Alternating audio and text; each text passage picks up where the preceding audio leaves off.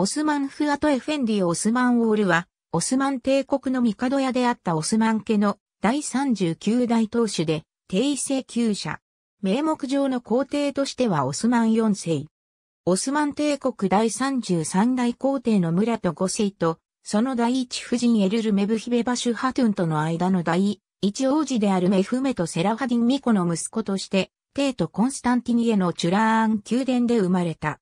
母はアルメニア人の第五夫人ジャリフェル・ハヌムである。1954年にイボ兄のアフメトニハトが死去すると、オスマン家家長の座を継いだ。1973年にニースで死去し、パリ郊外のボビニー墓地に葬られた。1920年3月26日にベシクタシュのファリア宮殿において、エジプト副王タウフィークパシャの孫娘ケリメ・ハリム、ハヌムと結婚したが、間に子供はなく、1932年に離婚した。ありがとうございます。